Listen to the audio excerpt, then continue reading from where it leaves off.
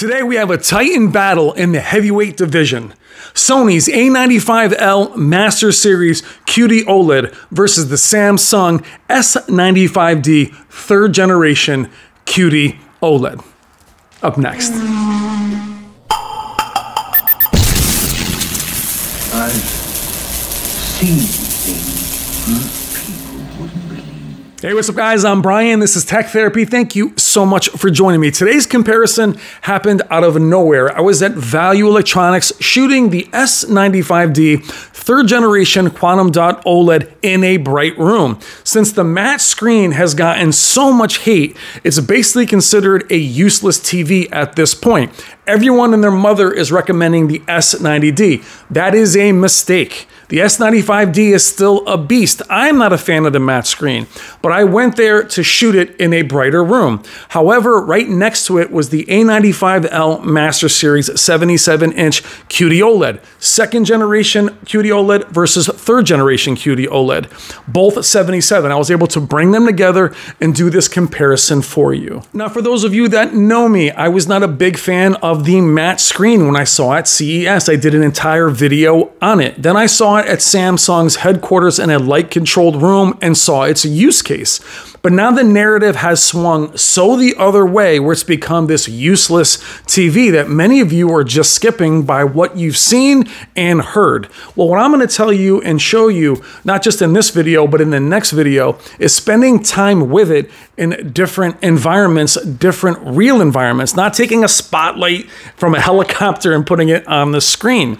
But my comparisons, just so you know, I will show you your professional versus filmmaker. I will show you your movie versus cinema. They're not calibrated, but in these two presets, they kind of look identical. We will then get rid of that, and I will show you what the third generation QD OLED can really do.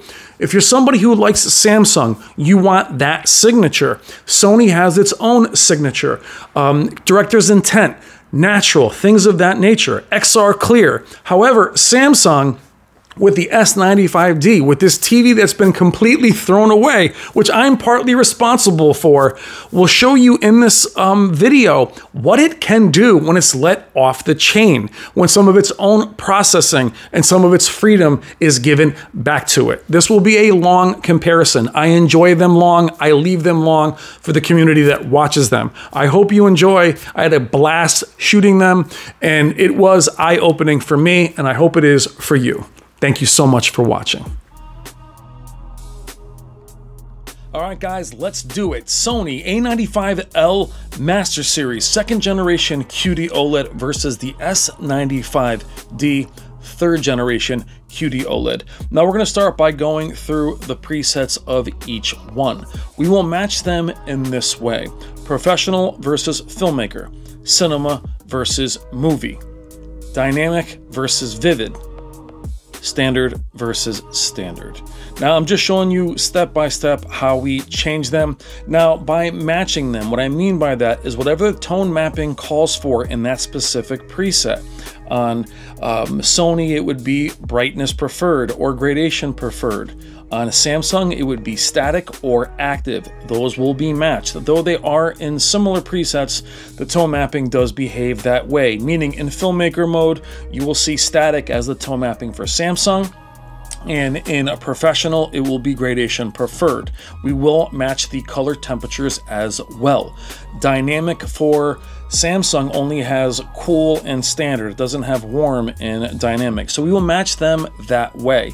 And that is it. Meaning also if there was live color enabled which there is in both standard and vivid, we will also match that with the color booster from Samsung, which is a new feature. So you will see them do battle on as even ground as they can.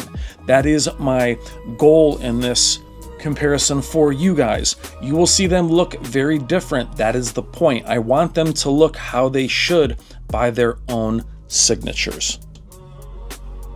Now for me, taking away all the processing and all the strengths of each individual preset, that's why we have filmmaker versus professional, professional being on the Sony, filmmaker on the Samsung. Cinema and home, or um, I should say cinema and a movie are very similar as well. You will see that there's little differences. We'll do different shots, I will label which preset we are in. There is no advantage given to either one, except for what the manufacturer deems. As I mentioned, we will match them as closely as we can in terms of color temperature and tone mapping. But I want to be able to walk through this little part of it, show you how they're set up. The Sony A95L is on the left, Samsung S95D is on the right. This took me many hours. You will see the time of day change. I did this portion actually at the end, so it's already dark. You'll see me start in the afternoon. I was there to see how the S95D would behave in a very bright room. That video will be up next. We are not in a pitch black room either. You'll see some reflections on the A95L. You'll also see some reflections on the S95D from the A95L being right next to it. They both look absolutely amazing. Now, we are at 77 inches. You have to be able to have these sizes to speak on them and their performance. 77 inch is brighter, they always have been. Moving into our first demo from a good friend Jennifer Gala. You're looking at professional versus filmmaker. They look very similar here. We're going to come back to this. We're going to go back and forth throughout this video, so don't get worried if you don't see a preset for a long period of time. We're going to go back and forth as we move into cinema versus movie. They are matched in regards to their temperature and their tone mapping. Whatever processing is on one is on the other. cinema and movie look very similar. There is still some brightness differences on the Samsung. I do feel a bit more detail on the Sony. We do have XR Clear. Their processing is still better. S95D has an improved processor, but it is a retooling of last year's. Now we're looking at a third gen QD OLED from the Samsung S95D versus a second gen from the Sony A95L Master Series. Being at Samsung displays at CES, showing you guys that video, they are far apart in terms of their capabilities. You will see that later in the video. But if you keep them in these two presets, I can do this the entire video until the cows come home and they will look identical. You need to stretch its legs. You need to go outside the box once in a while, which is why I want to show you guys everything these TVs can do, up and down the line. This is how you will watch them. Most people out of the box will not be in these two presets, but I show you uh, cinema and movie the most, you may go into them when you're streaming. But filmmaker and professional, you may not wander there. Most of them will ship in standard. That's actually the most popular preset of most manufacturers. Now, so far you see them relatively the same. Almost exactly the same, which is funny considering how badly beat up the S95D has been because of the matte finish and because of its uh, the way it looks. It's being thrown away. It is not the case. I'm telling you, I've spent hours upon hours with several different sizes. It's a monster. Now we will pause here. We will change the preset into standard. Again, when I talk about displays for you guys, it's always flexibility of image. Accuracy important, director's intent important, but what you want out of your TV is most important. It is your TV. There is no judgment. You'll see what happens to the image when I get out of these similar presets, out of Filmmaker. Now you're going to lose some detail when I switch over. The camera will reset once this demo resets. The detail will come back. The clipping you see is the camera. There is that same detail in the S95D as we restart the same demo. Now, standard is not vivid. This is a very common preset, and all of these presets can be turned down. For clarification, there is no blooming on the S95D. That would be clipping on the camera. That's the haloing you're seeing. It's not even the screen. But you will see a noticeable brightness difference on the S95D. I repeat, no blooming on the S95D And I'm leaving it bright, meaning I'm not adjusting it to compensate for them both. I don't want them to look the same. I want you to see the differences in brightness. It's not clipping. The saturation, the color. The color booster is enabled on the Samsung and live color is enabled on the A95L. Not out of the box, the A95L's color booster is at medium, or I should say the live color is at medium. Therefore, the S95D's color booster was brought to medium. back into your more accurate professional and filmmaker. The reason why I want to go back and forth is show you realistic images now of food. Again, special shout out to good friend Jennifer Gala and her second channel, HDR Super Channel. Check the description below for the links to her videos. Side note, fellow creators, if you're going to use Jennifer Gala's amazing material, please give her a shout out or put her name at least in the description below. Thank you so much. I love the color reproduction of both. Samsung, starting with last year's S95C, even the B, were amazingly accurate out of the box in certain presets. One would argue that the filmmaker mode and even the movie mode are a little too aggressively trying to be Sony. I've always wanted Samsung to remain Samsung, that vibrant, saturated look. But what you get with the S95D is the ability to be both very accurate and off the charts colorful. Accurate or not. Now, what I think is fascinating is for me, when I first saw the A95L last year versus everything else, especially the A80L, which is the TV that I have at home, the saturation and vibrancy was blowing me away. It's amazing how it performs now against a third generation. Of course, it holds its own and looks better in a lot of these shots in terms of accuracy and detail. That is the processing.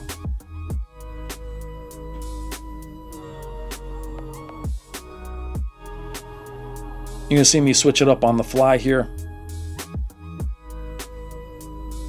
Bringing it back to cinema and movie. And you can see here, even as I switch it up on the fly, they do still look similar.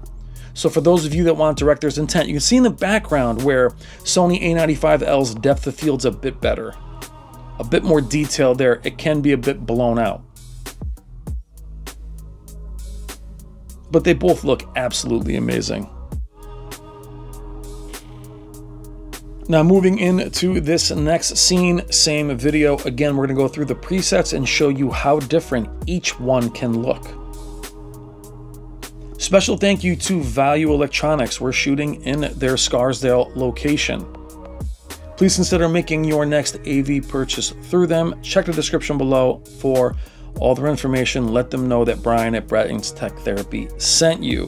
What an amazing gift to be able to film uh, these two. I was filming the S95D again in a bright room.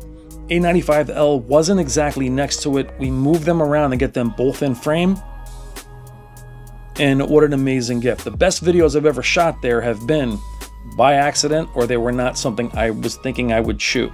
Now we're going to move into vivid and dynamic. If you like these presets, I will not judge you. I don't care. I just want you to be happy with the TV you buy. I am simply here to show you the headroom you have. There are times where the Sony can look more vibrant. For me, the Samsung is clearly brighter in every shot depending on the shot's um, style, it may show it more than not. What I like about both of these presets is they are usable. Many people will tell you that if you tone any vibrant preset down, it can be usable. Just back things off, back off your sharpness, back um, change your color temperature. Now the color temperature has been changed, except on this uh, Samsung, there's only neutral and cold, so the Sony has matched that into its standard temperature.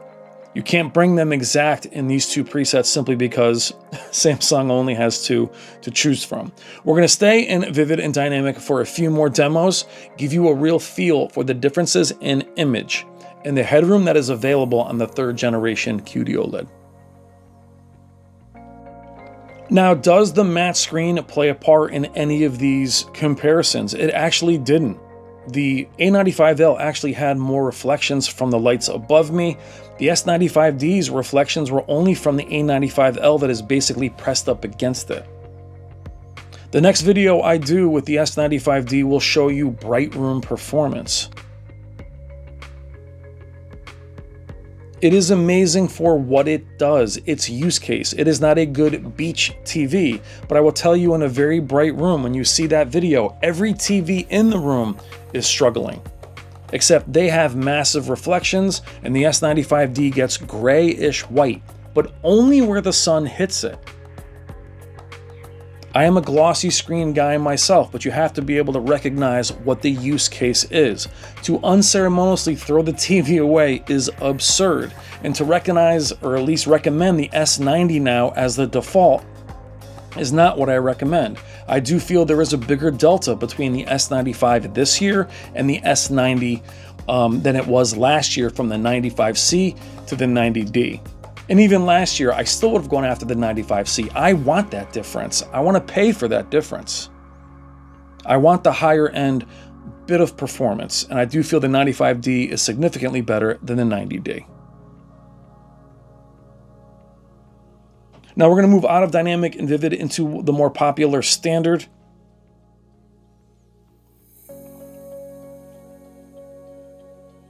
Now, it's not really about for me to tell you which one is better, it's about which one you prefer.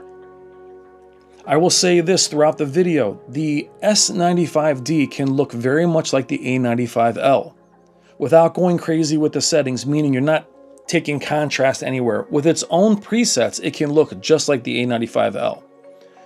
The opposite can't be said. The A95L cannot look like the S95D in those crazier presets. You see that here in the whites on the S95D versus the A95L. This is not WRGB versus QD OLED. That is what shows up on screen, those whites. What's ironic is the A95L's white is very white versus a WRGB OLED, but not against a third generation QD OLED.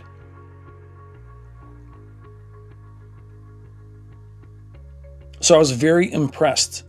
Now, quickly, if I'm bought by Samsung, and also bought by Sony or bought by LG. Guys, you got to pick which one I'm bought. I'm allowed to change my opinion and perspective with the more time I spend with these TVs.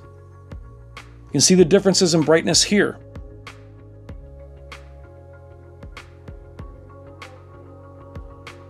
I'm letting it be bright. I'm not trying to adjust the camera. But my point of saying that to you is this. That's why these aren't finite reviews. I spend tons of time with every different size. I don't get a TV, unbox it, review it, and send it back. I've hit this TV four or five times already. A95L, five, ten times.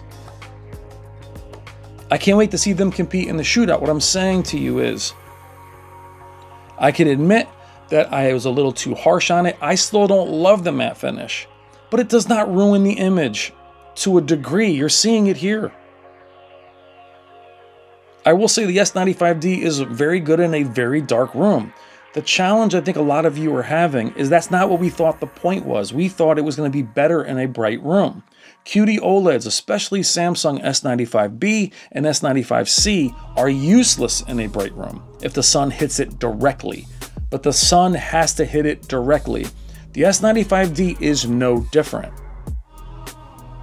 Arguably, the matte finish behaves worse if the sun hits it but it has to be right on it, guys. The sun, as you'll see in my next video, can be in the room, it just can't shine on it. Now that overblown again is my camera. I'm not trying to adjust that. I want to leave that so you see the differences in brightness. But you still may prefer the detail on the Sony my joke about being bought, then I guess Sony's going to be very mad at me for liking the S95D, or G4 is going to be mad at me because that's the TV that I want. But I will tell you, I want the 83 inch LG G4. The S95D is that good. If it was 83 inches, I would need to see them compared for me to make a decision. That's how good it is. As the G4 doesn't really have the gaming advantage over the S95D to give it the pull. This is the one disadvantage for Sony releasing their TVs later in the year. They're only top dog for four, five months before something else comes out. Same thing happened to the A95K. Now we are splitting hairs, everyone. These are both amazing. Ridiculous, in fact. I would definitely give the processing still to Sony, the more natural image to Sony. Which is ironic because many of you purists think XR Clear gets away from the director's intent. I am not Scorsese or Spielberg. I'm not really that worried about exactly what the director intended. I do respect it. I'm not stuck to it. And guys, if I like something last year, I am not marrying these. I am not marrying them and saying, oh my God, this is the best TV. I got to stay with it. It's not the case. That's the best part about what we all do here me, you, the whole community. For those of you in the community, thank you so much for watching these long premiere videos. I love you guys. I appreciate all of you that watch these videos live with me. I leave these videos long so we can watch them. I want you to see as much as you possibly can. See them in different presets. There is no value at all, in my humble opinion, to putting them both in filmmaker and professional and giving you a 10 minute video and saying, yep, they're exactly the same. They are not the same. The G4 is not the same as the G3 and vice versa. They can be made to look the same depending on the content and the preset. Now, if you're going to calibrate these TVs and leave them in Filmmaker, grab the A95L, grab last year's TV. Though I consider the A95L this year's TV. They're both amazing. But if I was to buy one right now at the same size, I would go for the S95D for my specific use case. I would want the brighter panel and I would want the better gaming features. That is my specific use case, everyone. Let me know in the comments what your specific use case is. If you have an A95L, do not get upset. It is amazing.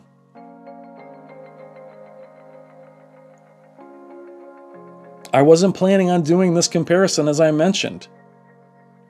We're going to repeat this same demo in a punchier preset. It is important to see both. You can see the jump there in brightness. It changes the image completely. But you want to be able to have that flexibility, guys, especially if you like that signature. Now, if the colors in the image from the Samsung are too much or they're too strong, then you know it's not for you, but you have to know it.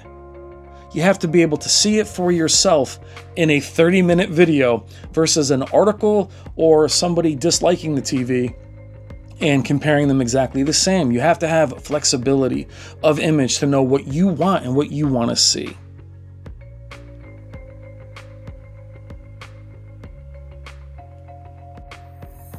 Now, for context, when I saw a special Samsung event first look at CES, FOMO when I saw that. We saw the S95D with lights on it versus a WRGB OLED. Then with the lights off, I still preferred the WRGB OLED, which is why my opinion was so strong on the matte finish. In that environment, or with that particular display, there were lifted blacks. Did not see this on my time, either at Samsung headquarters, which again was a very light controlled room to seeing it here. Of course, I need to tell you what I see. You don't stay stuck on one thought process. That's why hitting these TVs again and again throughout the year is so important. Now, even though I'm covering the S95D, I'm thoroughly done with it. I'll still get a sample from Samsung to check out for you guys to see where it is in terms of firmware updates, how it competes against other TVs this year. We're not done covering it.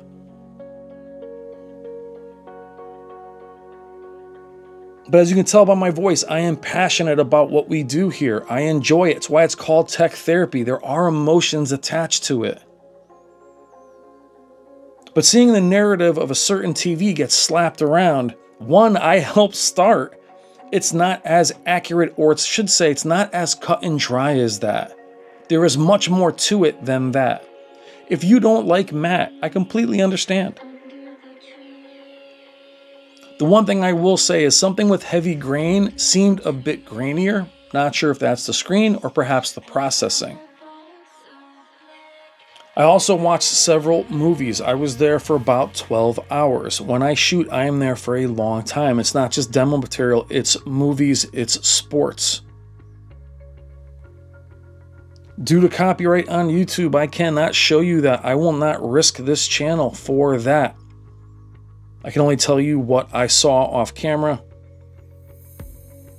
Jennifer's material that you're seeing within this video is mind-blowing.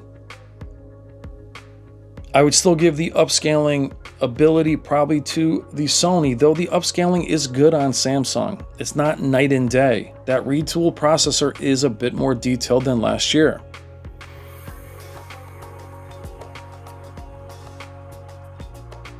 But what was jarring, as I mentioned, seeing Samsung display showed me third generation versus second generation, and then seeing Samsung's first look, it did not look to have that disparity. Because also at Samsung's uh, displays event, they showed WRGB OLED versus a third gen, and it wasn't close. Seeing that first look, you can ask FOMO, who's standing next to me. I thought the WRGB looked better with light on it and in a dark room. I don't know if it was that particular panel or what they were doing, but it is not what I see here. But flexibility of image, both of them have tremendous headroom. They can both look very accurate and very punchy.